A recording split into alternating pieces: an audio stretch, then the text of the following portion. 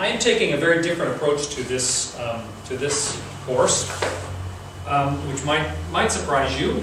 And that is, this is the outline of the courses, uh, the classes in this course. Uh, today, I'm going to do an introduction to rhetoric. And if you don't know what rhetoric is, you may, you may have the, the common understanding of rhetoric or, rhetoric or rhetorical, which is usually something that's flippant and not serious and you know, uh, not to be taken and to be taken lightly. That's not at all what it is. I'll explain that. And then over the next five weeks, I will be unfolding, and this is the approach I'm taking to communication and homiletics, the five canons or rules of rhetoric and how they apply to communications and homiletics. And by the way, if you don't know homiletics, I'll give you that definition later, but homiletics is the process of creating and delivering sermons or lessons. It can be, a, you know, uh, homiletics can be the process of teaching uh, as well as preaching. I'm approaching this from the point of view of classical rhetoric. I'll define that later. There are five rules of classical rhetoric. There is what, what they call invention, inventio in Latin, which is finding the meaning, arrangement, which is organizing the materials for communication, style, answering the real questions in terms of how you how best to communicate, memory, which is preparing to present, doesn't necessarily mean memorizing, although it can. We'll talk, as we get into this, we'll talk about how we solve the practical problems if you want to preach or teach. Um, like, how do you remember this stuff? And then delivery, the actual presentation. These are the five rules or canons of rhetoric in the classical sense, um, as first really developed by Aristotle, so this goes back a ways, and then developed amongst the great Latin orators of Rome. Then um, the seventh week we will talk about the act of preaching and teaching, which is not the same thing, I don't believe. Some people, it's very common for people today to confuse that. People who say they're preachers, I believe are really teachers. And we'll talk about the difference. I'll give you an example of the difference. One of the great sermons, one of the great preaching acts of the 20th century was the Reverend Dr. Martin Luther King's I Had a Dream speech. You know, um, I have a dream where my children will be uh, judged not by the color of the skin, but by the content of the character. That was a great sermon, a preaching act. There was no factual content communicated in that sermon. There were no numbers, no dates, no facts, no nothing that would be mentally acquired. But it touched your heart. You know, it, it changed people's lives. To me, preaching, it may have factual content. That doesn't mean it can't have, but preaching is the act of communicating to people in a heartfelt way to change lives. Teaching, also critically important, is the communication of information that people take into their mind so that they grow mentally, intellectually from their understanding of things. Is that fair? So we'll talk about that. Doesn't mean that a sermon doesn't have, have some informational content. It doesn't mean that, that teaching can't also touch people's hearts and change their lives. But there still is a, a, fundamental difference, I believe, in those two things, as someone who both preaches and teaches. Um, and then we'll talk about applying the principles in the final exam in the eighth week. And let me say something right up front. It is not possible for me to teach a class like this without from time to time making it sound like I know exactly how to do this, which means I'm perfect at this. And that's not at all the case. Uh, I believe that among the, the, gifts that God gives all of us, and everybody gets gifts, that I have a gift of teaching and preaching. Doesn't mean I'm the best teacher or the best preacher around, and I always can get better, and I will get better as I go through this process with you. But some of it, like at the end of today, I'm going to give you tips for doing better in communicating, preaching, teaching, whatever, and there are tips from Ross. These are things I believe, things I have learned. And so it's from me to you. Um, but please don't ever think as we go through this that I'm suggesting that I've got it all wired, that I'm perfect at this. Um, I've been doing it a long time, and I think by God's grace, I've gotten fairly good at it. And So I will share what I know and what other people have. Is that fair? Okay, and if I ever, if you ever feel like I've stepped over that line, then, you know, take me aside and smack me upside the head as we go along, okay? Any questions about where we're going with this?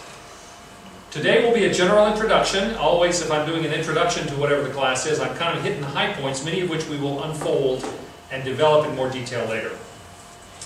So I want to start out by saying, by talking about a return to classical education. Um, in classical education, which continued really up until the 19th century, um, was made up of what they call the seven classical liberal arts. That's where we get the expression liberal arts.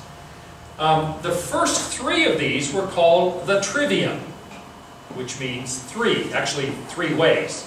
You know, tri via in Latin, the three, the, or the three roads rather. Um, those three were and are logic.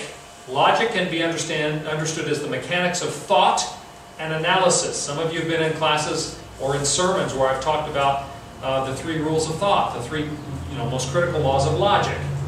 The law of identity, the law of non-contradiction, and the law of the excluded middle. Logic was taught, and by that we don't just mean just making good sense. It's a formal study of how you can think reasonably, rationally, and analyze things reasonably. The Earth. What determines a year? The revolution of the Earth around the Sun. Well, from years and days, we get minutes, and we get seconds, and we get degrees. All of those numbers that we base everything on are uh, basically astronomy. And yet, we don't think about this stuff this way anymore. Now, for all, I wanted to give you this whole thing, and our word trivial, by the way, comes from the word trivium. And the reason is because compared to astronomy, music, geometry, and arithmetic, logic, grammar, and rhetoric were thought of as being easy. And by comparison, easy became trivial. Doesn't mean they're not important, it just means by comparison, they were the easier of the three arts. More straightforward. Uh, they're, they're sort of a finite end to them. You can complete your study of logic or grammar and to some extent rhetoric, whereas music and astronomy, for instance, go on forever. You know. Uh, okay, I wanted to give that to you so that you get some idea where I'm coming from and using rhetoric as the found, as the outline, the basis for us pursuing this. So, rhetoric is the use of language, which I would define as the knowledge of grammar, the mechanics of language, plus logic, the reasoning that we use to make good structure of language, to instruct and persuade a listener or reader. Okay? Now, um, let me stop there and ask you a question.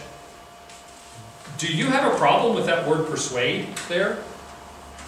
Uh, and, and let me make a statement and ask you to argue with me. I believe that all interpersonal communication, that means all communication between two people or between one person and multiple people, any, any communication between people, is at its root an attempt to persuade. Any reaction to that?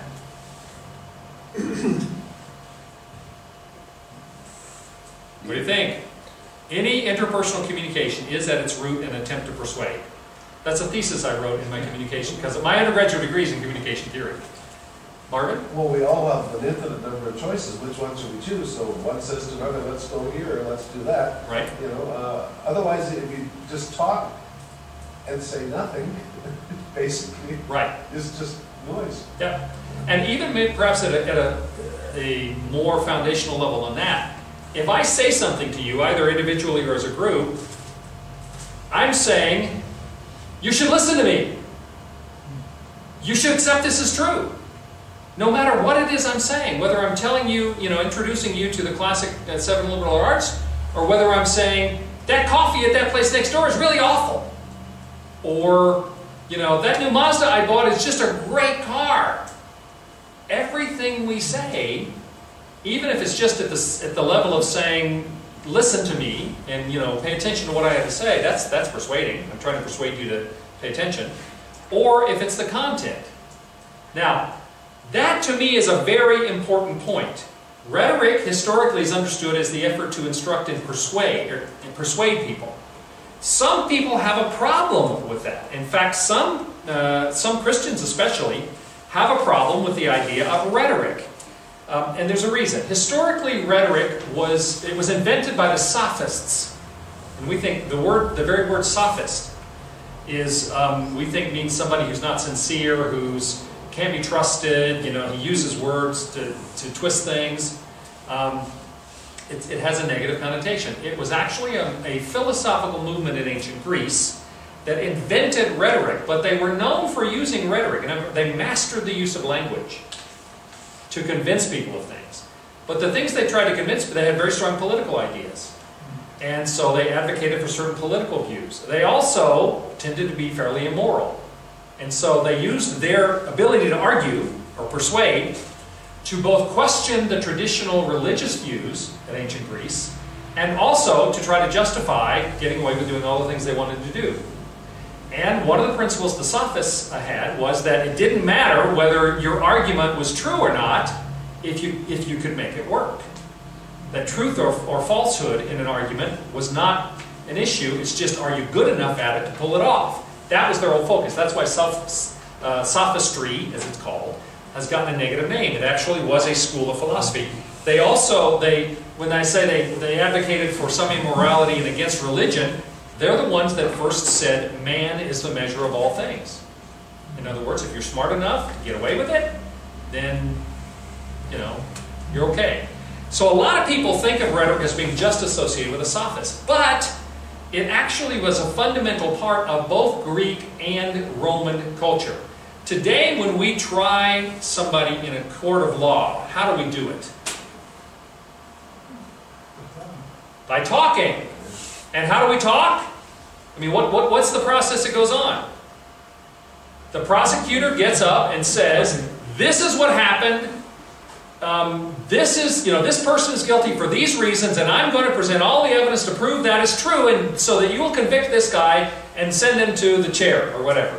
And then the defense attorney gets up and says, this is not true. The prosecution has no grounds for this. There is no solid evidence. I will prove to you that the evidence that's to be presented is not valid, etc., etc. Our whole legal system is based on rhetoric, and effort to persuade. We determine, you know, uh, whether somebody's guilty of a crime or not using rhetoric. We determine virtually everything of any significance. Business deals. You know, when we sit down and negotiate a deal, negotiating is trying to use basically rhetoric to convince the other person that it is in both, both persons' advantage to do it the way I want to do it, not the way you want to do it. Almost everything that we do involves rhetorical efforts to communicate, instruct, and persuade. Now, some Christians have a problem either because with rhetoric as a theme, either because they associate it back to sophistry and the sophists and all that, or else because they, they feel that speaking of, of being systematic and disciplined about trying to persuade people is somehow wrong or inappropriate as though it implies manipulation. But you know what? Every time I get in a pulpit and preach a sermon, I'm trying to, to persuade people about the faith. What is evangelism if it's not trying to persuade people about the truth of the Christian faith? And so I don't have a problem at all with it. In fact, I think we've lost a lot by losing our background in understanding the principles and canons and process of rhetoric as the use of language to instruct and effectively persuade listeners or readers. Okay? So that's where I'm coming from. And I think it's a good structure for us to work under. Lynn? Is there a fine line between instruction and persuasion? Because I was doing some diabetes education and I thought I was presenting facts, straightforward facts. This is reality. And I was speaking to the wife and the husband is there and he says, boy, if she ever persuades. And I'm thinking, I said to him, no, I'm just telling you the way it is. Yeah. Well, see, I don't think there's a difference. Because the very fact that you were telling them something and you wanted them to listen to you, you wanted them to believe you, you wanted them to take these as facts, that, that's persuading. That's, you know, you're making an effort to persuade them of all those things, that you should be listened to, that you're making good sense, that these facts are true and that they should accept them. All of those things. So any communication, I believe, is an effort to persuade, which is why I don't have a problem with that. Fair? Mm-hmm. And again, I believe that this classical approach is a very good outline on which we can hang this communications and homiletics process. And I'll be making those connections as we go on. But first, let me talk to you about the five canons or rules. The word canon means rule, literally yardstick, a ruler. A canon in, in was the, the a reed which was marked off that was used in construction. Um, and it literally means a ruler, a yardstick. So when we talk about the canon of Scripture, we mean the fact that, that Scripture is a, a yardstick, a measuring tool that we are supposed to apply to our lives. But when we use the word canon in the sense that I'm using it here, it means the rules. The five rules of rhetoric. These began with Aristotle, but they continued, and actually they were defined more in the sense I'm presenting these five in Latin oratory uh, as, as that developed. The first of these, five canons, is invention or inventio in Latin. It means the evaluating your purpose and developing the argument or message. My way of expressing that, um, it, more practical, here's how we apply it, is You have to ask yourself, what do you want or need to say, and why do you need to say it? That's the in- invention um, part of this. Now, sometimes the premise of that is fairly obvious. I am the preacher for Lakeside Presbyterian Church. Right now, I'm preaching a series of sermons on why we believe. Well, I've got like nine different points I need to make under why we believe. And so for me, the process of evaluating what I want or need to say, I had to say, um, and, and why I need to say it, these are, there are facts in support of belief in the Christian faith, and um, we often don't know those things, and we need to know them, and so I'm going to teach them. And then that's the invention part for me. If you have a group and you're asked to come and speak to that group, you have to ask yourselves questions like, who is this group? What are their needs? What should I be addressing with them? And, you know, what, what should my message be? I was asked not too long ago to speak at the Rotary Club, in, uh, that they were forming a new Rotary Club here. And they said, could you come and do the keynote address and something inspirational? Um, and I thought about, I read the purposes of Rotary. I used to be a Rotarian 100 years ago, that's a crazy story. Um, and in fact, they just voted me in here again. Um, and I read this and I thought about it and I, I did a, a message called uh, Achieving Greatness. And the point of it was that greatness, and this is consistent with the Rotary Club, but I'm encouraging this, greatness is not in being wealthy or famous, greatness is in service. We achieve greatness by serving. Okay, well, I the invention process for me is who are these people? What do they need to hear? What's consistent with them? How might I address that? Okay, same thing is true anytime. If you're if you're asked to come and lead a devotional, you ask the same questions. If you're asked to do a, a teaching, Bible teaching or anything else, you ask the same questions. What do I need or want to say, and why do I need to say it to this particular group? Now, that second part's the part we often forget. People are always guilty of answering questions nobody's asked. All right? Why do I need to say this has to do with what do they need to hear. There's a famous New Yorker cartoon. I had it for years and years and then lost it. It's this guy in a long, long white robe and long white beard, and he's holding up a sign that says, God is the answer. Well, there's a businessman, you know, holding his briefcase standing in front of him, and this old guy, God is the answer. And the businessman is looking at him, and the caption is, What's the question? Too often, we're so quick to jump about, here's what I'm, here's what I want to say, Here, here's, here's the answer I'm going to give, when in fact the group you're talking to may not yet have asked that question. And that will affect your invention, how you decide what you're going to talk about. Fair? You guys know to ask questions as we go along if you have any questions about that, right? As you look at this book, as, you, as we talk about this as we go along, you will see that reflected. You know, the first sections, it talks about um, diagramming the text structure, noting the text details, asking research questions, naming the text idea, deciding what do I need to say and why do I need to say it. And if it's based upon a text, if you're starting with a text, then you draw out of that, what is there in this text that I need to say and why is this appropriate for this group? Okay. The second, wow, that's different. Um, I'll put both of those up there because for some reason these, these lined up differently. Second is arrangement. Again, this is the classical, or a dispositio, as it is uh, disposition, dispositio in Latin. This is the, um, we, we translate this arrangement or organization. This is the decision um, of how I'm going to organize the argument or the message to provide the best effect. The question you would ask is, how do I structure and organize my message to best communicate with this audience? Um, am I going to give a case study? Am I going to um, have somebody offer a testimonial? Am I going to quote extensively from my favorite book on this topic? So organizing the argument, I've decided what my argument is, and why I'm doing it under invention, and then I have to decide how I structure and organize that message to best communicate with this audience. And you'll notice I've got this italicized. And that differs. You know, what you're going, how you're going to um, arrange or organize your argument if you're talking to your bridge club is different than if you're talking to, you know, if Hugh is meeting with a group of prisoners uh, in his prison ministry, or if I'm talking to the people at Lakeside Presbyterian Church. I have to plan, organize, um, my message appropriate to that. And I have to be conscious of those things. Okay? Whatever I've decided my message is under, under invention, I then have to decide how I'm going to arrange and organize it in order to present that. The third thing is style. This is determining how best to present the argument or message. What approach am I going to take? Am I going to be very formal um, and, and use very eloquent language? Am I to, you know, do, do street talk? Um, am I to, how am I to communicate this? And many people who speak regularly, on, you know, preachers, for instance, they inevitably think that the more uh, $2 words they can use, the better off they are. When I first moved to the Northwest, I was living on Bainbridge Island at first, and I went to, I was visiting churches, and I went to an Anglican church there.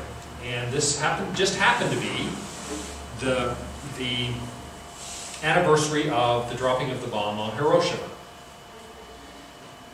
And this, I have two master's degrees. I've got a pretty good vocabulary. And this um, Episcopal priest did a 20 minute homily, and in it he had half a dozen words that I do not know the meaning of. Do you think that was the right style to be preaching to a congregation? And the reason I say that is because just given how many years I've spent in school, if I didn't know the meaning of those words, I bet there were quite a few other people in that congregation who didn't know the meaning of those words. Is that the right style for a Sunday morning congregation? No, if I'm, if I'm making a presentation to, um, you know, to the Quantum Mechanics Association of America, you know, these high-end physicists, does that change the style I'm using versus if I'm doing a presentation for a preschool group? Obviously. But we have to think about those things, and some people don't.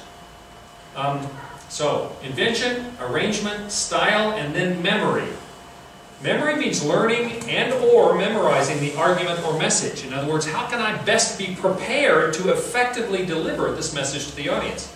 Now, it used to be true um, that it was expected, it was thought of as being a real sign of weakness if you did any sort of oral presentation, rhetorical presentation, and used notes.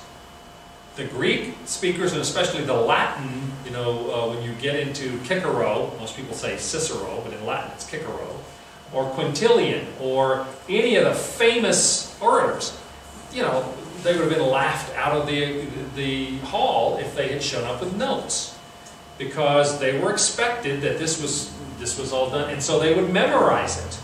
Um, and so there was an aspect in which the memorization was an important part of it. Um, even today, we give more veracity. A, if somebody were to stand up and to do closing arguments for a major trial, let's say the defense attorney gets up and he's carrying his notes around, is that going to have the same effect as him getting up and giving an impassioned appeal, walking back and forth and you know, really sharing enthusiastically with people, it makes a difference. And so the idea of how you can best be prepared, it may or may not be memorizing.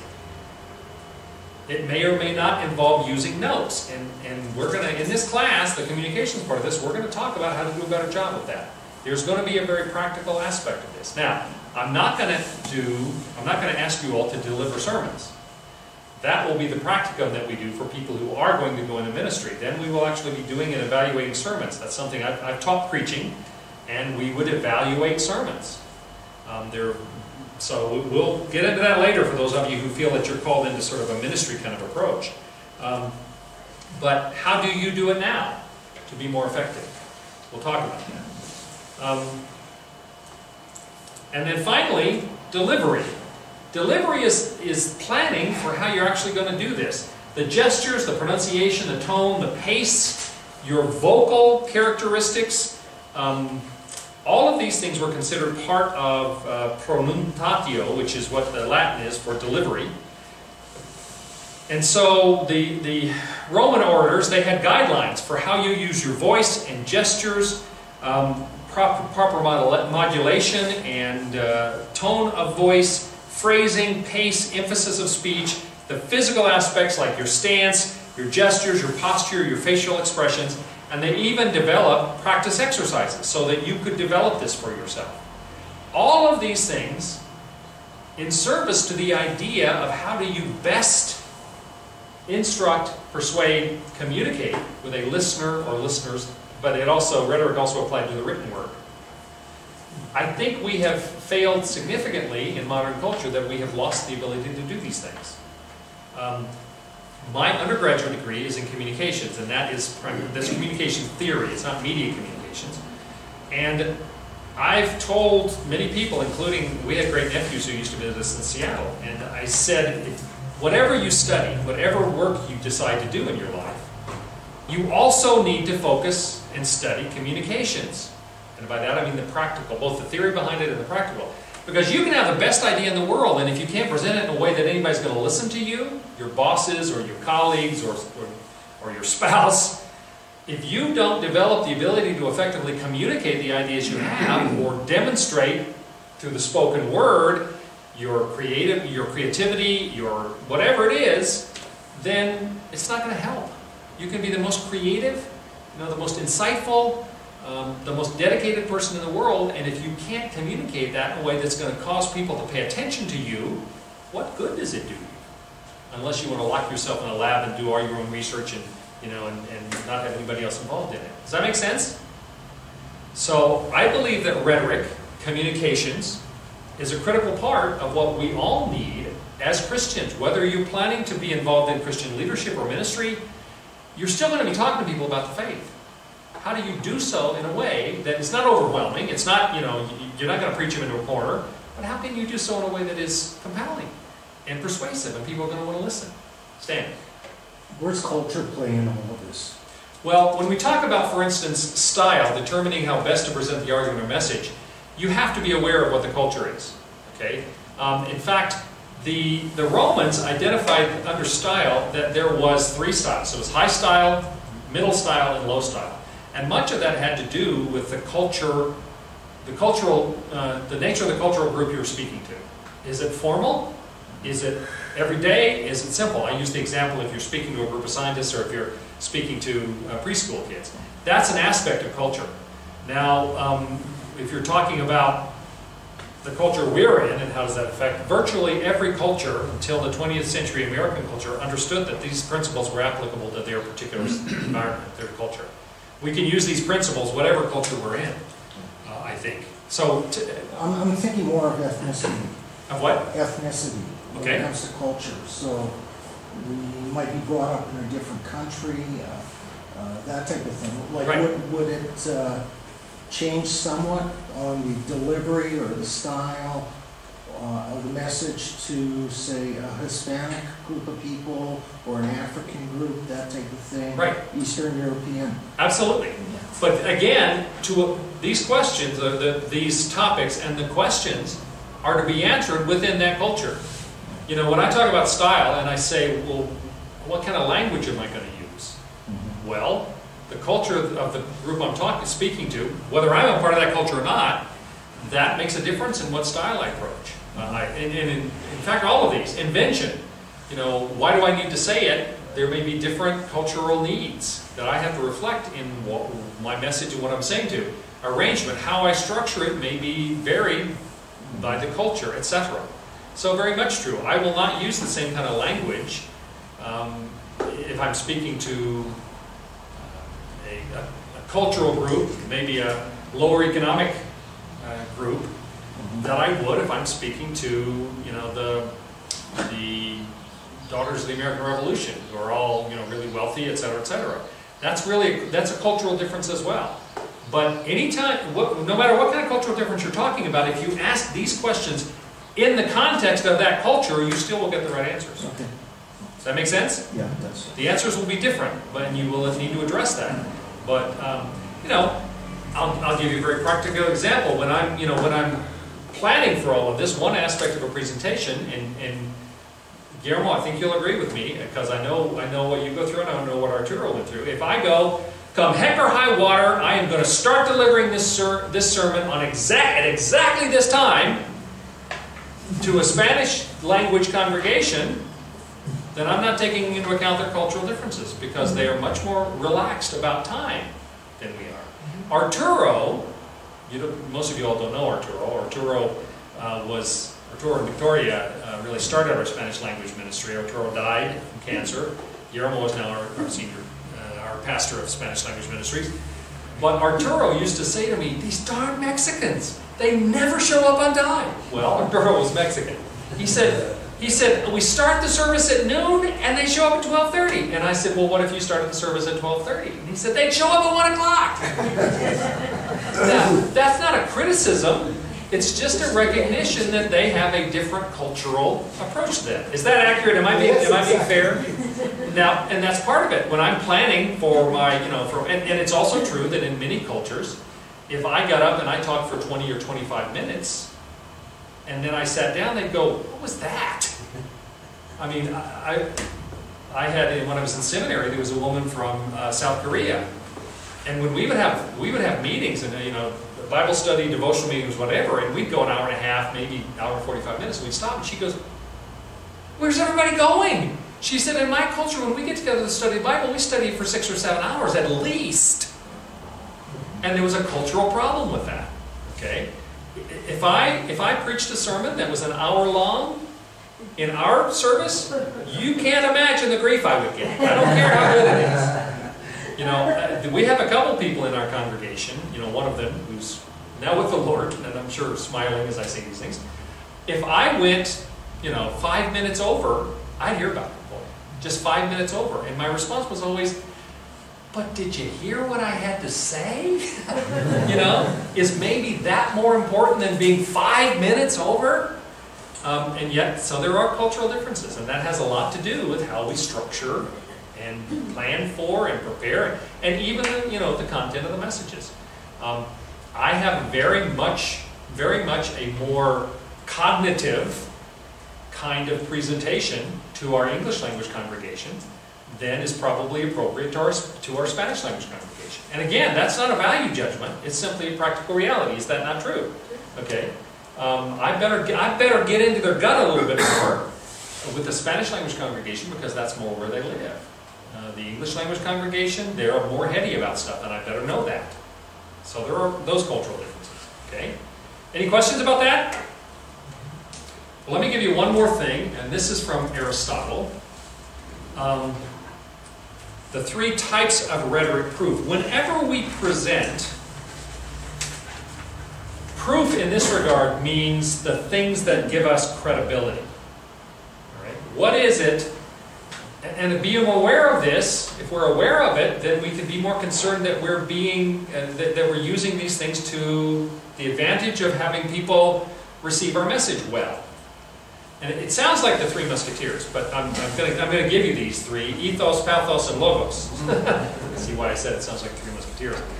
Ethos is how the character and the credibility of a speaker can influence an audience to consider him or her to be believable. And that can include do you appear, and this has to do with appearances now, do you appear intelligent? Are you, do you appear moral, presentable, of good reputation, trustworthy? If I showed up and I stank and my clothes, and I'm the preacher, and my clothes are torn and dirty, you know, like I just got out of the garden, um, and the first words out of my mouth are curse words. Are people going to listen to me? In the kind of congregation we have? That's the ethos. Do I present myself as someone who would be believable based upon what they perceive of me? Particularly if I'm, if I'm, if I'm preaching a series of sermons on why we believe, and that gets into some of the philosophical and intellectual justifications of the Christian faith. If, no, if people look at him and go, he doesn't seem very bright, are they going to believe sermons on those kind of topics from me? Right? So we're just talking real practical down and dirty here now.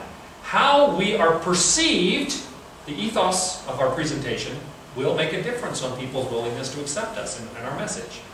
Secondly, the pathos. Pathos is the use of emotional, oh, what's that all about? Shutting down. Tired. Shutting down.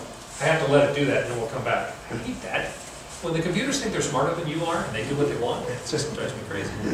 Um, okay, let me see what I can do. Bring it back up here. Not it. I don't need help. If I needed help, I wouldn't ask you. Oh, it does my heart good that somebody else talks to the computer.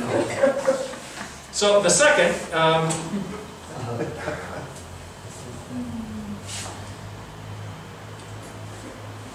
sorry, I'll be jumping up down for a minute. After ethos, that is how we're perceived in, in presentation, we have pathos. And you'll see these again in a minute, pathos is the use of emotional appeals to alter an audience's judgment. Now, we all do this when we, and, and that's through metaphors, storytelling, uh, quotes, presenting the topic in a way that evokes strong emotions in your audience. If you've ever had any sort of public speaking instructions, they will tell you, tell a story, give an example, give them a metaphor. Well, this is just like if. Those are the ethos, though, or the pathos, excuse me. Those are the things that create sort of an emotional buy-in in the people, especially a moving story. Um, and the third, what the heck? The third is the logos. Logos is the use of reasoning to construct an argument, which is either inductive or deductive reasoning, if you understand the difference. By the way, almost everybody gets those two wrong. Induction, inductive reasoning and deductive reasoning, for instance, everybody thinks that Sherlock Holmes was a deductive, you know, that he deduced things. No, he induced things. Deductive reasoning is reasoning that is absolutely, unequivocally true. And particularly in logic, for instance, the, the logical argument um, Socrates is a man, all men are mortal, therefore Socrates is mortal. That's a deductive argument, meaning it's beyond question. An inductive argument is one in which the evidence supports your argument, but it's not absolutely true. For instance, we could an, an inductive argument would be to say, or a deductive argument, um, sorry, inductive argument would be to say, um, every biological form we've ever known requires water. Therefore, every biological form we may discover in the future probably will require water. That's a reasonable argument based upon all experience, but it's not an absolute fact like a deductive argument is. Almost all police work is not deduction, it's induction. It's, take, it's finding evidence that seems to give um, a conclusion beyond a reasonable doubt. Induction means beyond a reasonable doubt. Deduction means you can't argue with it, it's absolute, unless you defy logic. All right? So anyway, ethos, making yourself believable by presentation. Pathos, using emotional appeals or other vehicles, techniques to get people to accept your uh, argument. And logos, the use of reason, of mental acuity to construct an argument. Those are the three ways in which you prove that people should listen to you. Okay, so in case you needed to be able to actually read it, not just hear me say it, here are ethos, pathos, and logos, uh, the definitions. Let's go now, um, I want to turn to, I mentioned earlier, my bachelor's degree is in communication theory. And so I want, which also like rhetoric, I think is very important to have basic understandings of communication theory.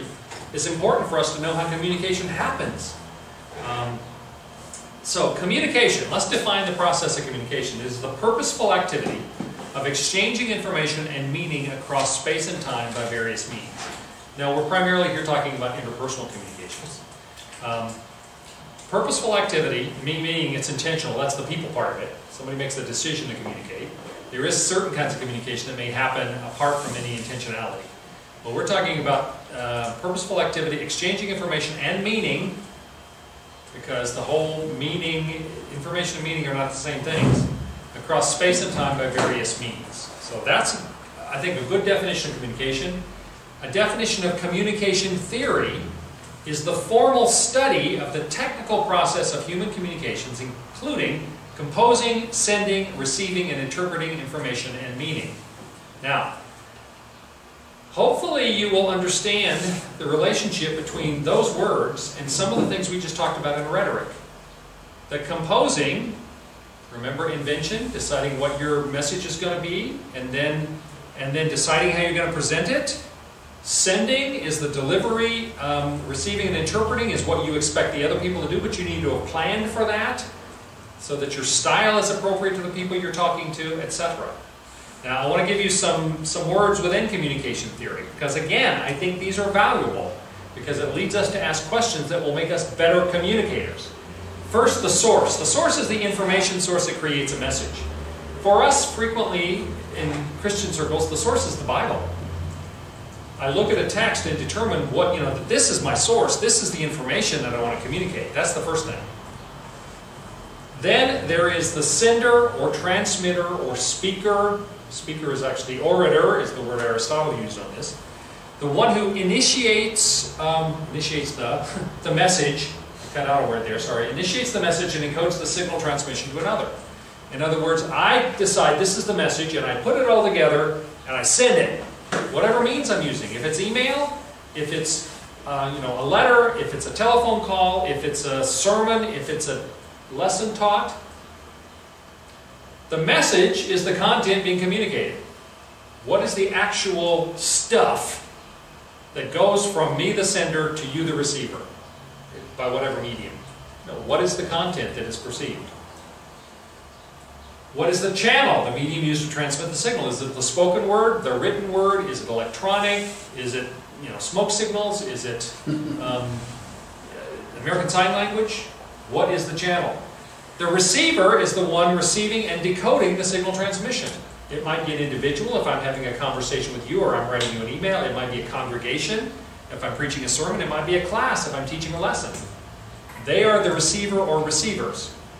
And then there's the concept of interference. Interference is anything that prevents transmission of the message and or the correlation between the intended message and the received message. Now, communication theory tells you there is always some kind of interference. There is no such thing as perfect communication. The ideal of this, I mean, the perfect example of this, is if I were to stand before the Spanish language congregation and preach them a sermon in English, here, well, how many of the people in the Spanish language congregation would understand me if I preached them in English? Mm, Maybe ten percent. 10%? That constitutes interference. If I am not speaking in a language they can understand, obviously I have a problem with the, the message being received and there being a correlation between the message I thought I was sending and the message that they got. All they're going to hear is, you know, if they speak no English at all, is Charlie Brown's teacher. Wah, wah, wah, wah, wah, wah. Okay? You know Charlie Brown's teacher. You know, Tom that? Yeah, sure. been deprived. In all in, in the various TV versions they've done of uh, Charlie Brown Christmas and whatever, whenever Charlie Brown's teacher is there, when she's talking, all you hear is wah wah wah wah wah. So yada yada or whatever. So the and, and there's various other kinds of interference. If I if I am doing this every third or fourth word, what are they going to hear? Right? That's an interference. Or I- the computer. Or the computer screws up. Yeah. I Um, was gonna bring that. Earlier, when I said that if I showed up and you know I smelled bad and I was wearing filthy clothes that were torn and dirty, etc., nobody's going to want to listen to me. They're not going to hear what I have to say. That's a kind of interference. Loud noises right outside the window is an obvious kind of interference. There are a lot of different ways in which the signal can be interfered with.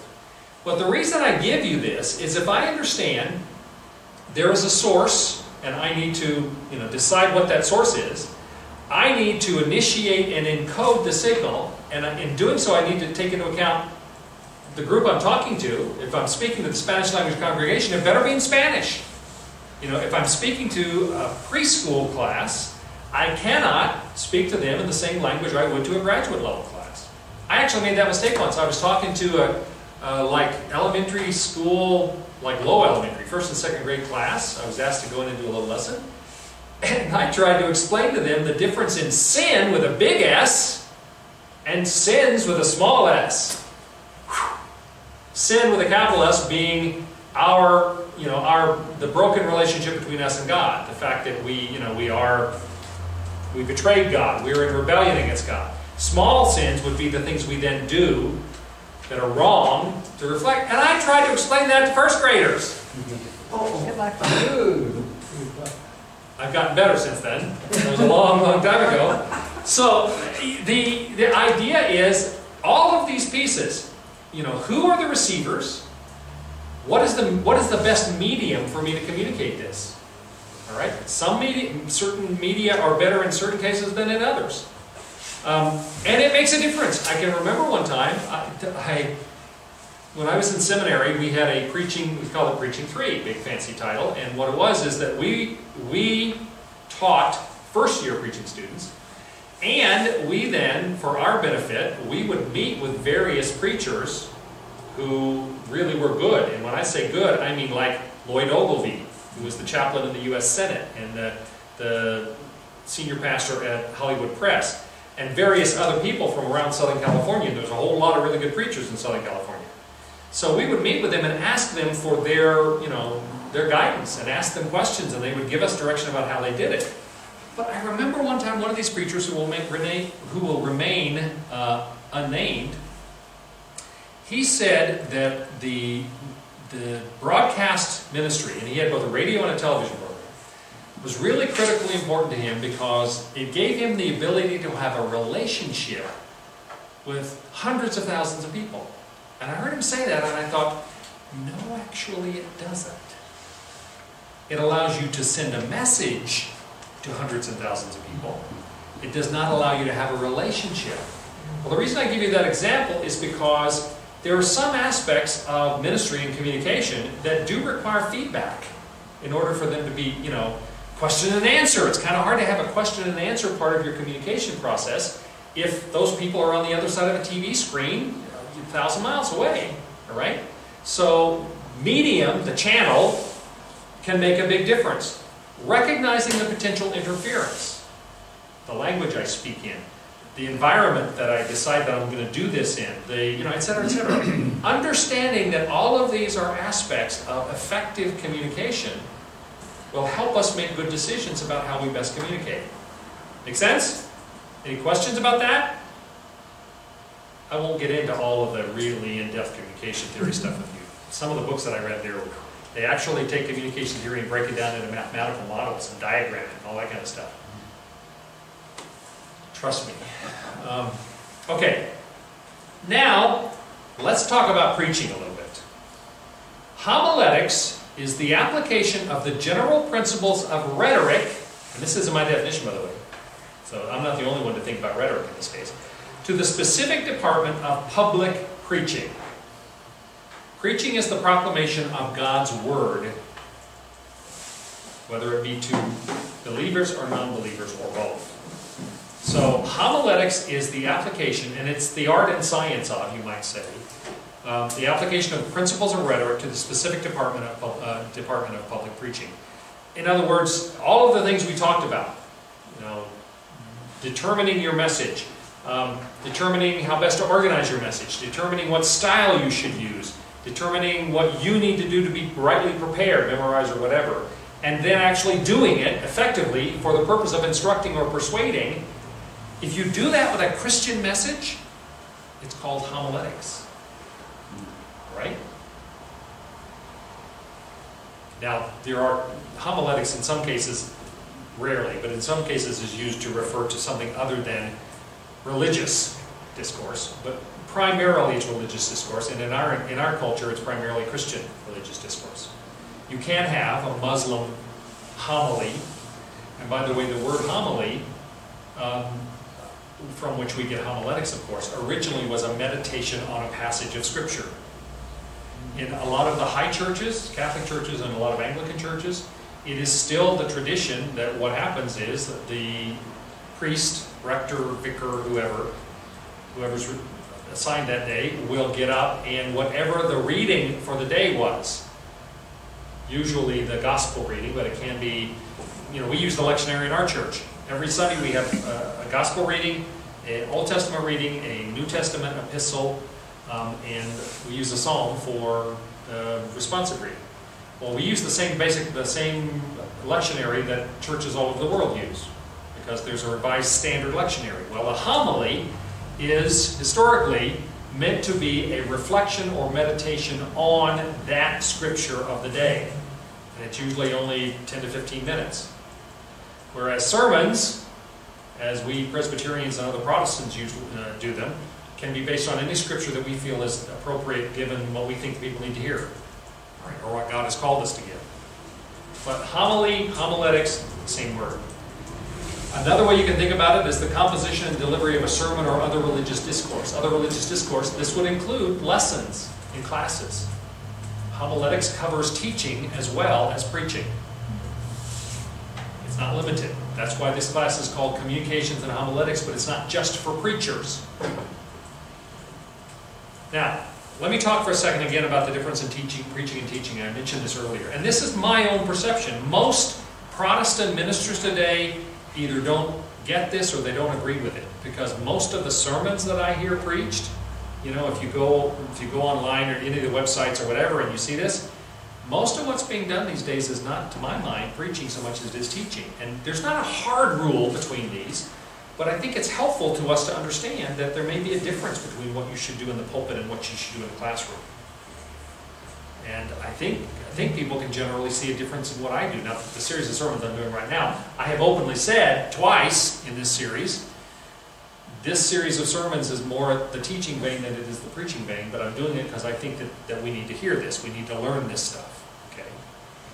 Preaching, I define as the act of delivering religious truth or giving religious or moral instruction or exhortation for the purpose of touching people's hearts and changing lives. To me, that's the preaching act. You're not just trying to convey information, although that may be part of it. You're trying to change their life, touch their heart, make them different people because of something that they have heard as the Holy Spirit empowers them to, to be something different. Okay? Whereas teaching, to me, is the act of providing instruction or direction for the purpose of increasing people's knowledge. Now, it could very well be that by increasing their knowledge, they end up having their lives changed. But the difference is, teaching to me is primarily a cognitive act. You're dealing with their minds. Preaching is primarily a cardiological act. Mm-hmm. You're speaking to their hearts. I just made that cardiological thing up, but you get the idea. I don't know the good, good expression for that. All right? Cognitive and Emotional? emotional, spiritual, maybe spiritual rather than cognitive. Cardio- I like cardiological. Any questions about that? Marvin? It's just, yeah, we can, we can be filled with all kinds of wonderful knowledge and never act on it. You know, uh, Yeah. it's good to know, but Yeah. do it. Right. And you know, some of the smartest, most fact-filled people in the whole world are horrible, unfortunate pagans. Because their, their heart has not been touched by the truth of the gospel. They have not heard the word preached, even if they've heard it taught. And they have not been changed. They have not been made new creatures, as Scripture tells us we are. And so the preaching act is to, is to bring people to the point that they recognize their need for Jesus, accept it, or if they're already believers, to grow in it, to grow in their relationship, so that they become new creatures, different than what they were before. Teaching is to provide content and information that will be helpful and useful and interesting. You know, heaven knows, I'm not, I'm not criticizing teaching, but it is a different thing. And there are sometimes that preaching is necessary, and there are sometimes that teaching is necessary. And I think that people are supposed to be preaching and just teach, miss it, and people are supposed to be teaching and instead start preaching, frequently will scare people off. There's a difference. And, and maybe we need to understand that God gave the increase. We, we plant, we water, we teach, we preach, but without God's Holy Spirit, it, it's just noise. Yeah, absolutely. In fact, I'm glad you mentioned that. Um, some people would say that you cannot teach preaching, that it is a call from God. And that, I mentioned this at the break, um, that God calls people and He equips people to preach. That is, you know, the, the gift of the evangelist. It's a, it's a gift of the Holy Spirit. Every Christian is given gifts of the Holy Spirit, one or more. And that some are given the gift of evangelism. We mentioned Billy Graham, who is not a very good preacher on any technical merit, but still, God clearly has given him the gift of evangelism. Uh, otherwise, millions, literally millions and millions of people would not be believers.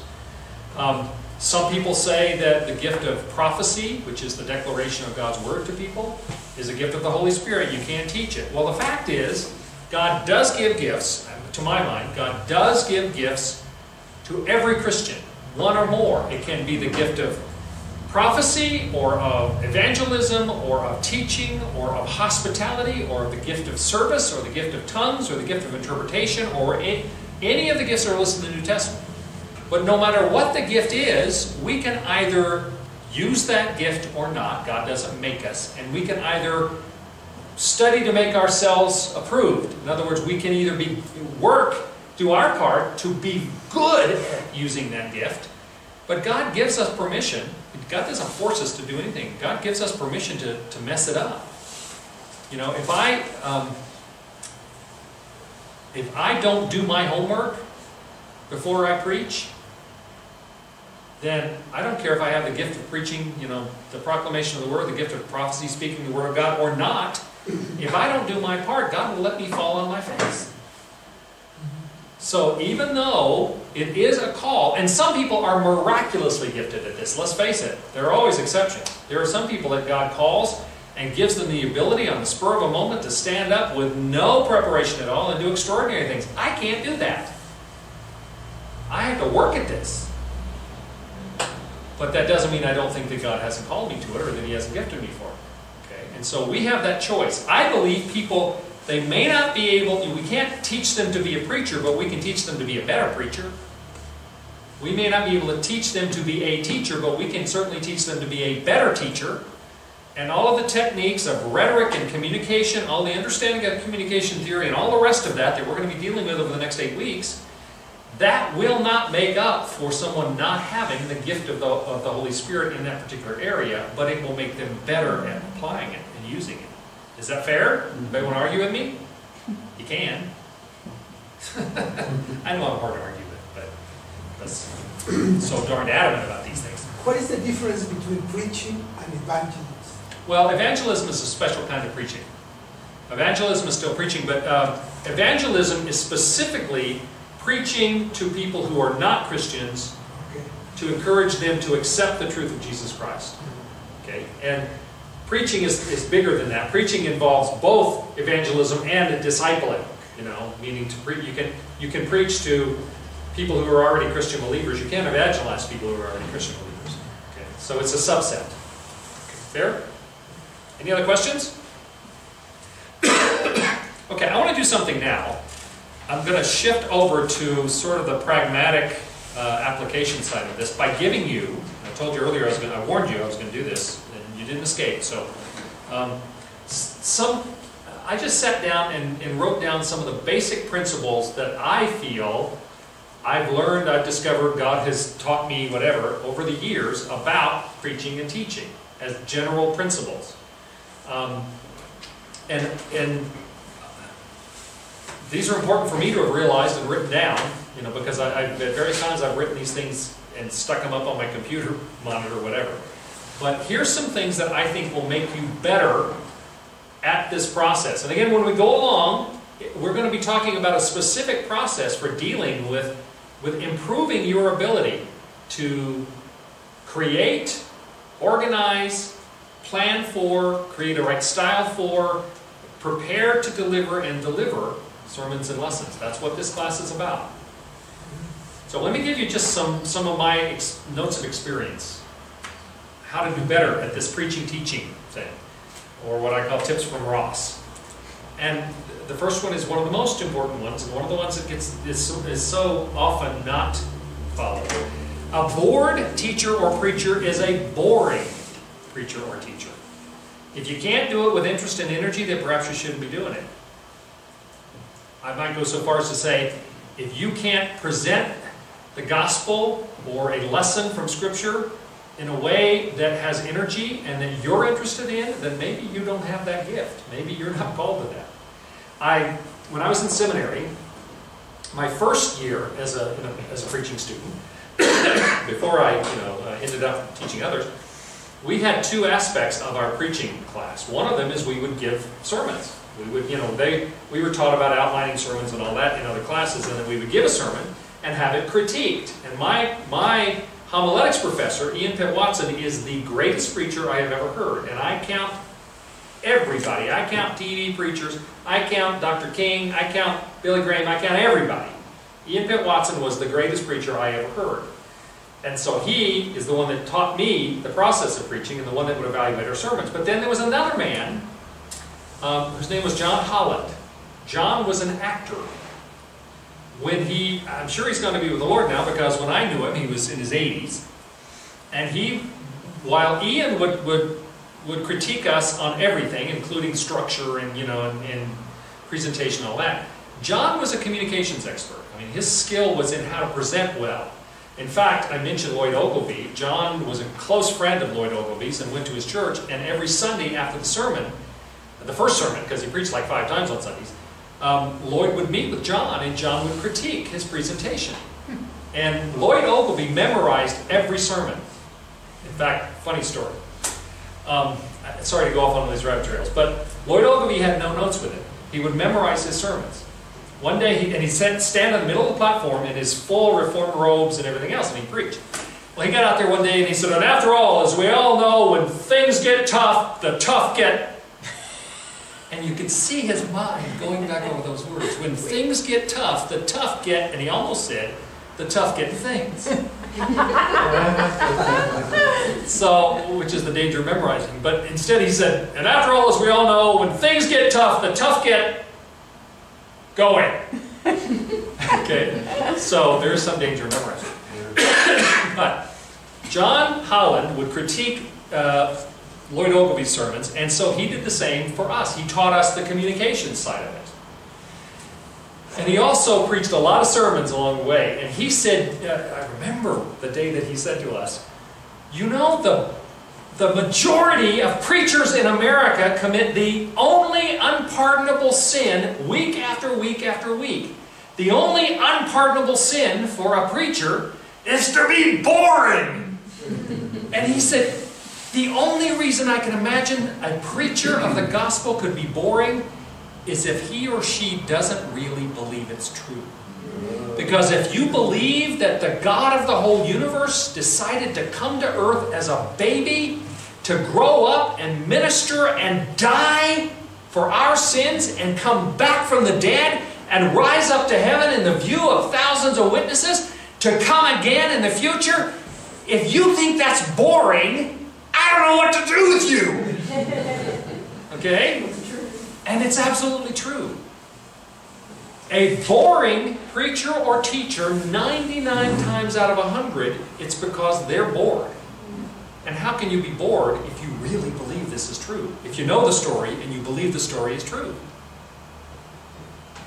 We have to have energy for this stuff. We have to get excited about it.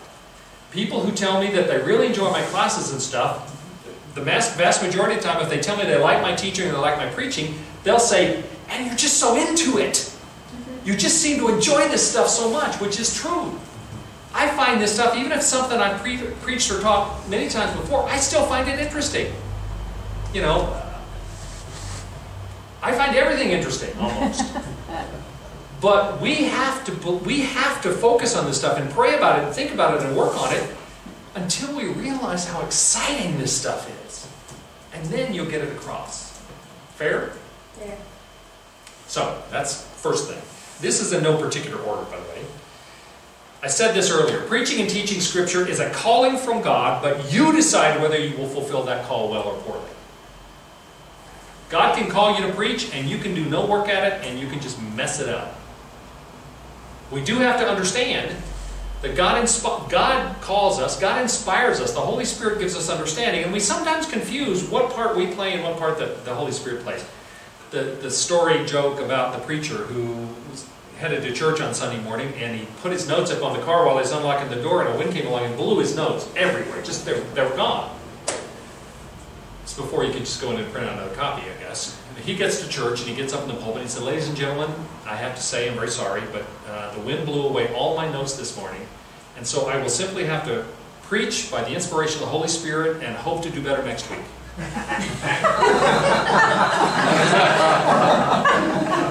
um,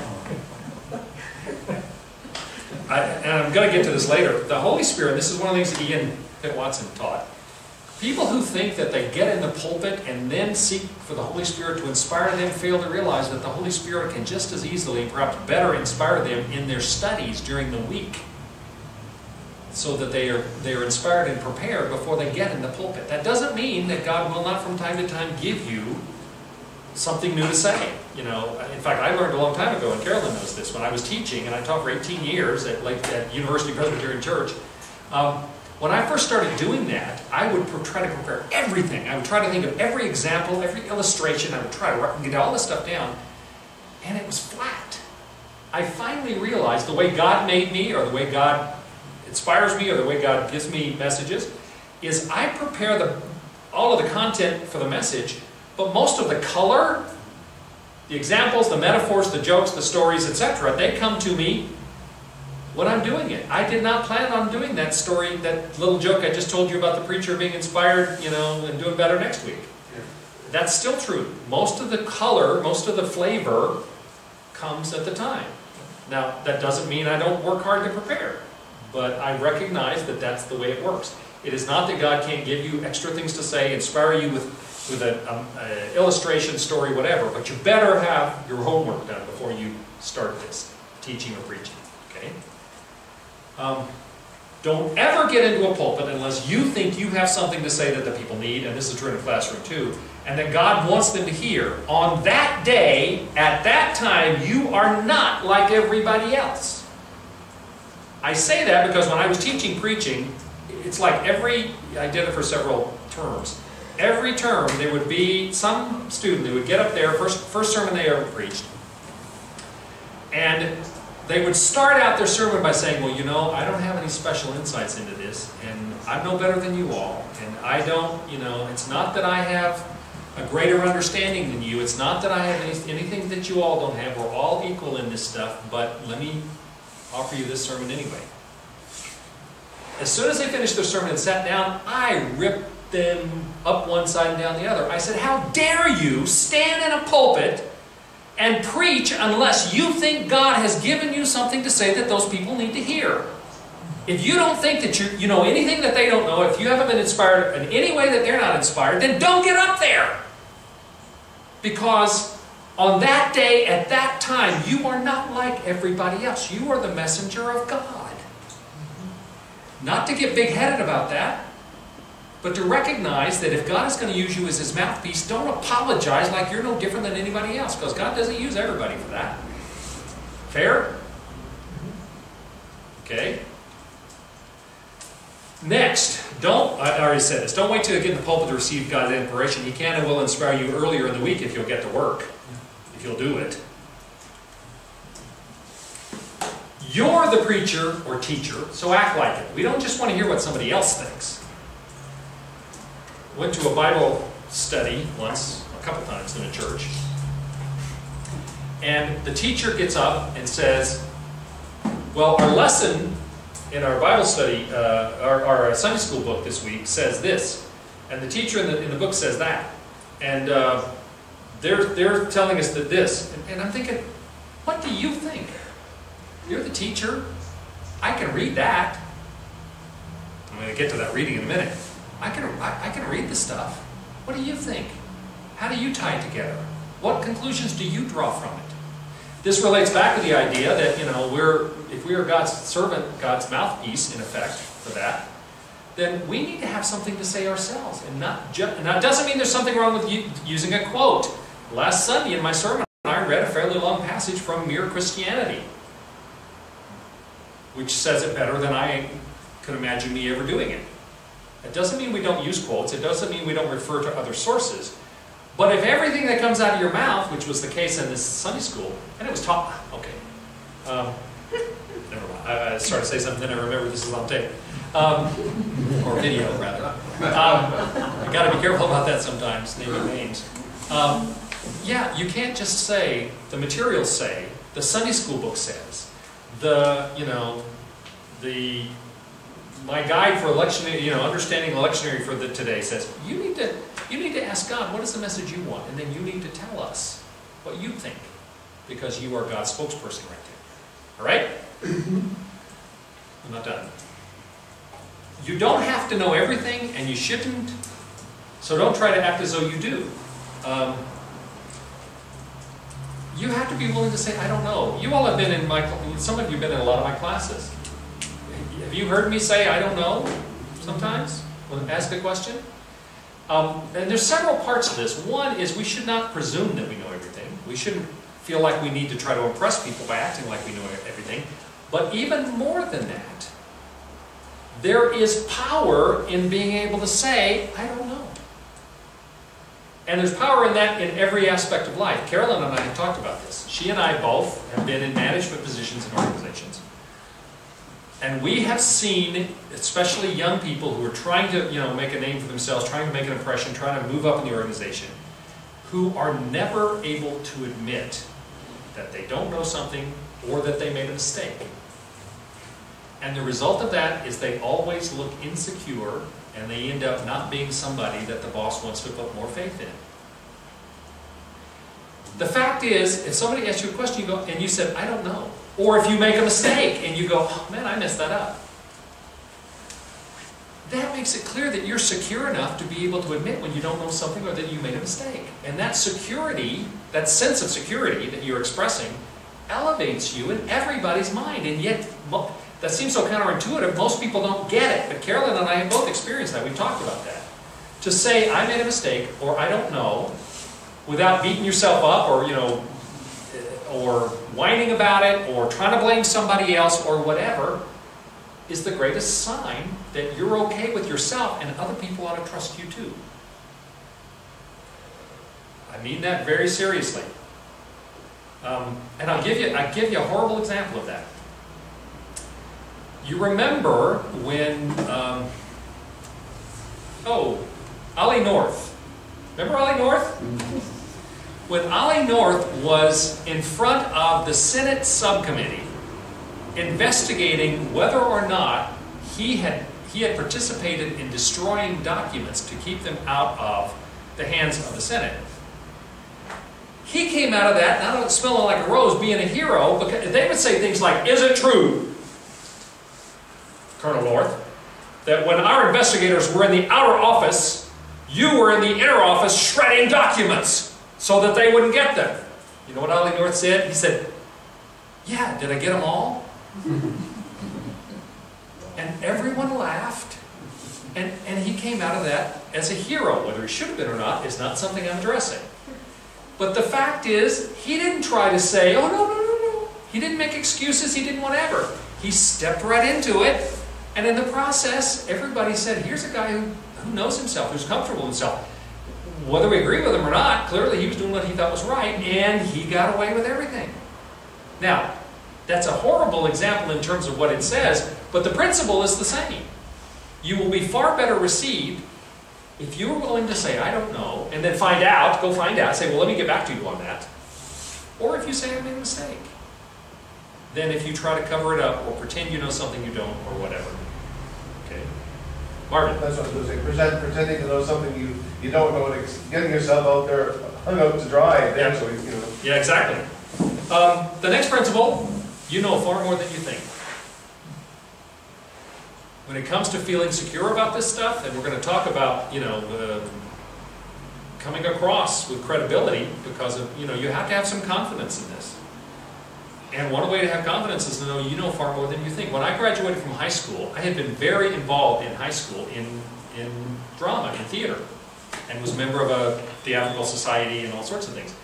I assumed that when I got to college, this was going to be so far out, because I came from a small high school in East Tennessee, that college was going to be so far out of my league, I wouldn't know anything about how to do college productions. I wouldn't know anything about theater at that scale, you know, at that level. Well, the end of my, toward the end of my first year, I was in a class called Man in the Arts, which was a humanities, general humanities course all freshmen had to take. And I don't even remember the particulars, but they invited some senior theater majors to come and meet with us about things. And as we're talking about it, I can remember I said something about, you know, well, um, gel Fresnels will give you the kind of effect where they go, you know about Fresnels, which is a kind of light theater light, you know, and gels, and, you know, and, and I said, yeah. And as we're talking, they started asking me questions, and I'm responding to this, and they said, you know more about theater presentation than almost anybody in our department. You've got to get involved, and I did. I ended up being involved in theater. My assumption was that I didn't know anything, and I found out I did. Now, I'm not bragging about that. It just happened to be that I had a really good, didn't even appreciate the fact that I had a really good theater teacher in high school. But we often go into situations thinking, I don't know anything, I don't have anything to offer, I don't, you know, I'm not, when in fact, it may very well be that you've got an enormous amount of very relevant knowledge to share. Don't start out by undercutting your confidence, thinking you don't have something to offer. Okay? And that's true with Scripture as well. I mean, even if you have nothing to offer other than this is what this mean, means to me. This is how this particular passage helped me. Let me share that with you. Most of the devotional books that are out there right now, that's all they are. You know, they're not eloquent, they're not scholarly, they are simply somebody sharing their heart about what God has said and done for them, said to them and done for them. There, there's great power in that. That's wonderful. Um, no more than you say when you're presenting, or you'll go way too long, and you won't have anything with which to answer questions. The hardest part for me of preparing a sermon or even a lesson is usually cutting stuff out. How many times, Carolyn, in the last year have you heard me say, you know, she'll say to me on Saturday night, How's your sermon? And I'll say, Well, I feel good about it, except it's twice as long as it, as it can be. You know, I've heard that 12 times. 12 times. I don't know. But it's true. I mean, it's true. You've heard that a lot. Because I always end up almost with more than I can use. And so I have to end up cutting. What one, one writer used to refer to when you have to edit a document, cut things out, called it murdering the innocents. Yeah, because you're having to cut out these words that you know you sweated blood to, to produce or whatever. Um, so don't tell them everything you know. You know, in, in theater performing, they, they, they always say you always leave them wanting more, right? I guess that's part of the principle. But it's also true that if you told them everything you know about a particular topic, even if they gave you that much time, more curiosity. yeah, and, and they ask you a question and you, uh, I'm sorry, but refer back to my talk because I don't know anything more than that. That's it, total, finished. Um, so always be aware, don't say everything you know. People can read, they don't need you to read to them. All right? If it was simply a matter of them having the words that you've composed, then we just, you know, photocopy and hand it out. There is, there is far more to the presentation of, of, of a message. Communication involves far more uh, than a presentation of a message than just the written word. So don't just read it to them, or we just photocopy it and hand it out the back. Um, in fact, I recently saw that uh, studies now have demonstrated that people's evaluation of a speech or a public presentation, this is not sermons, it's a general presentation, was 7% the content communicated, and um, what was the middle part? Anyway, it was 58% physical presentation. 58%, more than half of what people evaluated as being a good or bad talk was how it was presented. Okay. Um, I think the middle, the middle part, whatever between 58 and 7 was, was voice. But when they said the button, they mean, are you excited? Are you interested? Are you, you know, do you have hand gestures? Is your head held up? All of the pieces of the physical part of this, people are more moved by that than they are what you're saying. So when you stand up there and you do this, and you just read it to them, what you, what's that about? You're not giving them anything. You can't effectively communicate this kind of stuff if you don't ever look up. Doesn't mean you don't glance down. It doesn't mean you may not read a passage, you know, that's appropriate. But you know, and, and if if you're somebody that has struggled with these kind of things, we're going to work on this as we go along. But you don't just read to them. You won't become a better speaker, communicator, presenter, preacher, teacher unless you do it. You have to practice this stuff. You have to do it. And you go, well, I don't get the opportunities to do it. Well, nobody invited me to teach these classes. I just said, I'm going to teach classes. And I invited people, and what do you know? You showed up. You can find opportunities to practice the communication. You can announce that you're going to have a Bible study and you're going to teach it. We need more people teaching Bible studies. And because you're going to take this class and you're going to take the biblical interpretation class and you're going to go back and watch the Bible classes, you're going to really, really be good at it. You have to do it if you're going to get better at it. Um, preach to or teach to whoever shows up. If it's 500, if it's 200, if it's 2. You do it. because that's who God sent. Um, when I was in college, the, the, the movie theater in our town, the Berea Cinema, you'd go there to watch a movie, and if less than like 10 people showed up, they'd come out, when it came time to start the movie, they'd come out and announce, we're not going to show the movie tonight because there's not enough people here. And we'd have to leave. Well, their reasoning, I guess, was pretty good, because if they showed the movie, they had to pay a certain amount of commission. If they didn't show the movie, they didn't have to pay that. So they were saying, we're not making enough money here, so go away.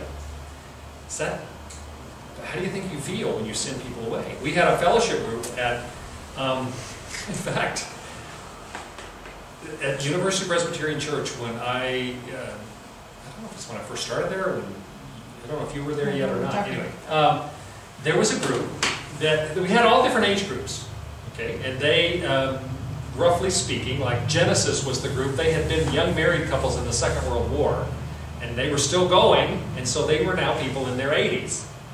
And then it sort of came down. We had a group that was for people in their 30s, 40s, whatever, primarily single, but some married couples. And I come to find out we had a couple of people who were the, the greeters, and if somebody came to the door that they thought looked too old, they would turn them away. Say, oh, this isn't for you. You want to go upstairs to the Sky Masters, which is what, you know, or Genesis, another group, or whatever. Um, I, I found out they were doing that, and the weird part is one of the people, and she was a dear heart, she just misguided. One of the people that was doing that, the first time she met me, she told me this later. Her reaction, because she was single, I was single at the time, her reaction was, he seems really nice. It's a shame he's so old. She was four years older than I was.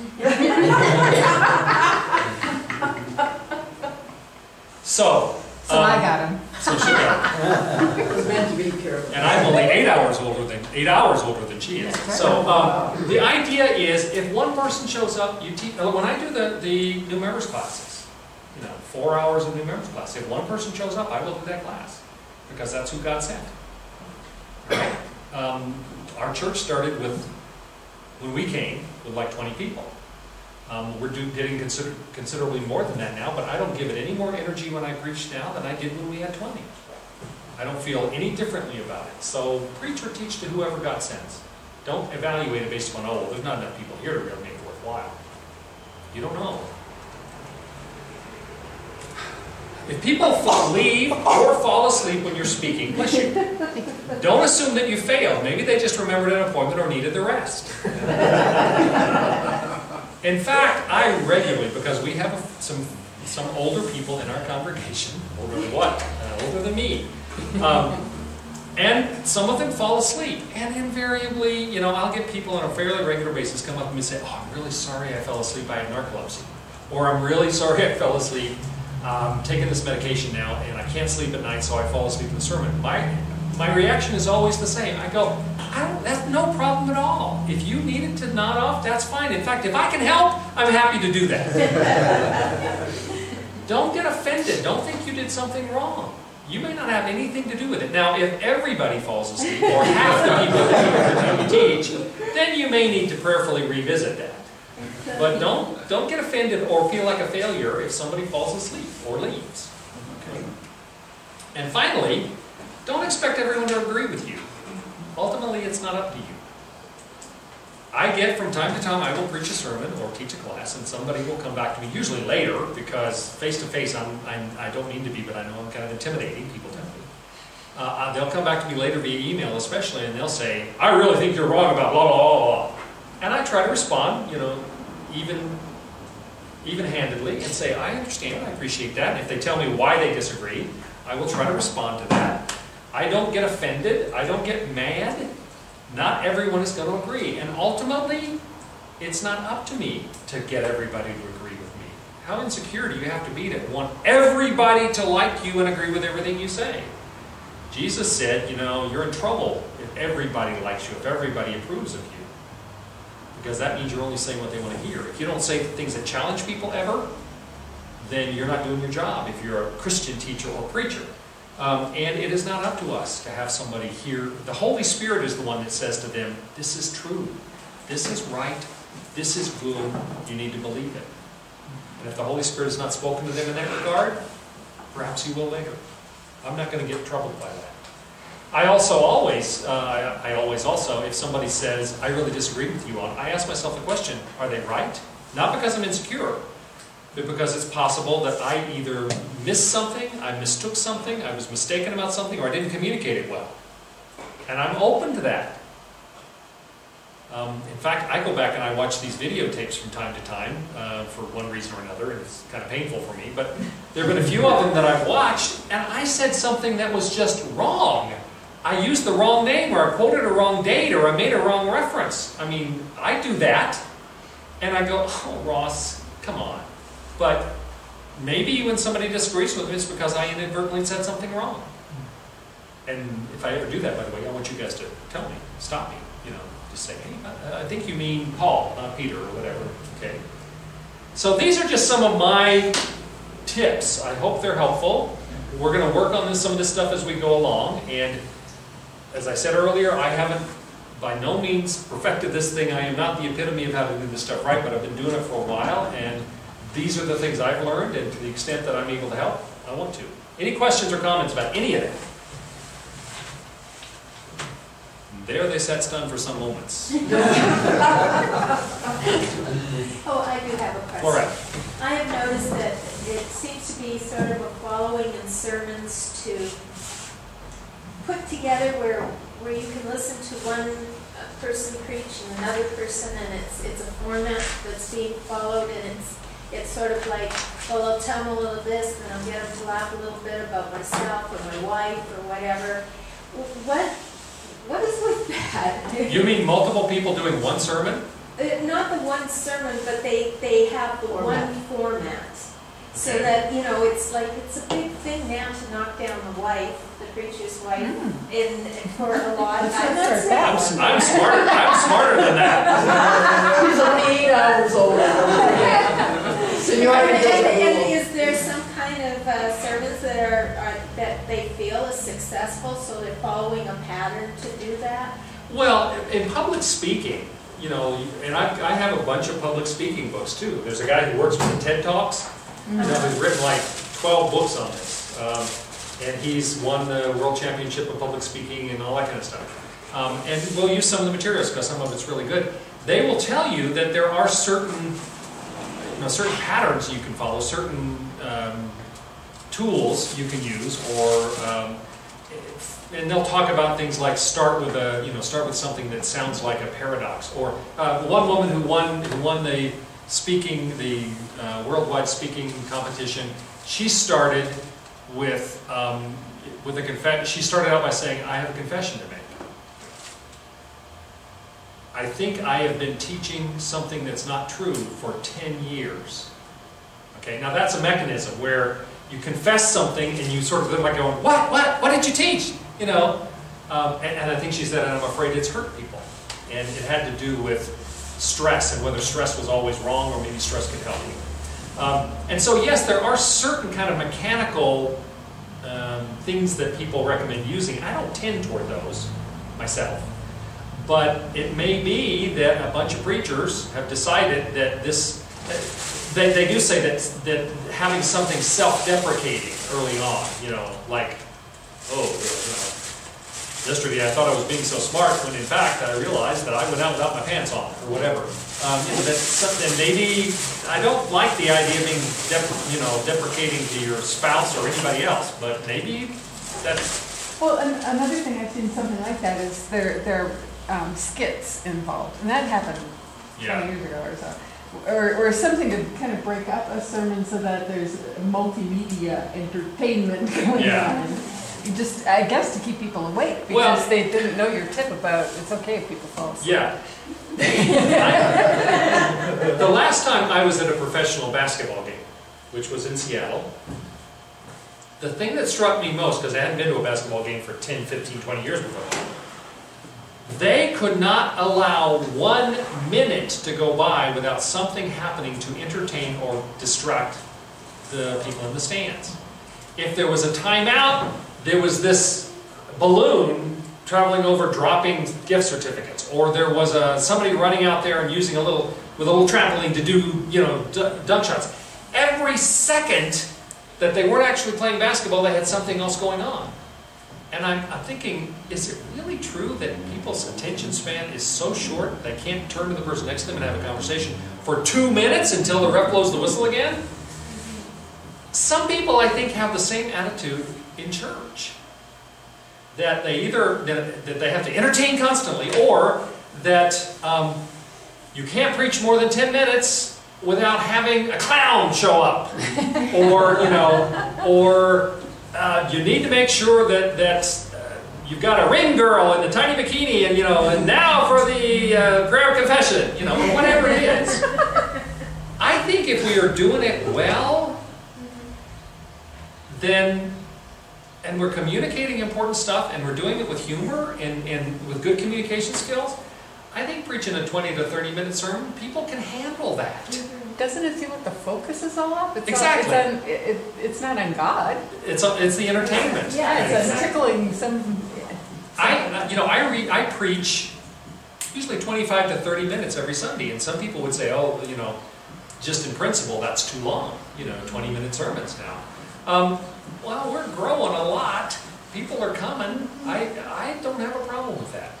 I think that some people, a lot of that, we got to entertain them, you know, uh, we got to keep, got to be all sorts of things happening. Got to have a skit, got to have a, you know, uh, um, the next music, we- all of that stuff, a lot of it has to do with the fact that we have misread why people have a short attention span. I think they have a short attention span because most of the stuff that they're, the messages they're receiving are not worth receiving and they're so bored of that.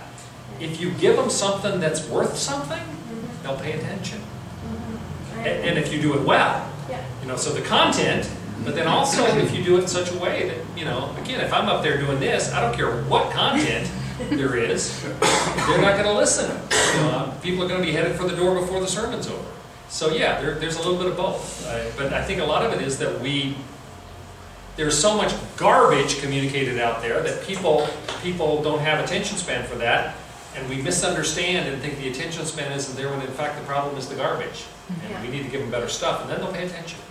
Something to chew on. Yeah. And you, Yeah. you always give us something to chew on. Yeah. Um, you know, and go home. and- Sometimes it's my leg.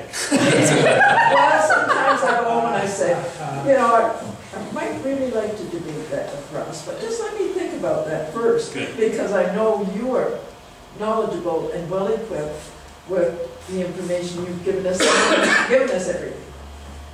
That's obvious, you know. Where I come with this much knowledge and, and I'm wondering about one thing that you have given us. Uh, Yeah, so you give us something to chew on Okay. which is, I hope, a, a, a point for growth and development of the Right. individuals who are there, which is your purpose. I hope so too. Although I am still thinking about that ring girl thing. Thank you all. I appreciate it. Have a good week.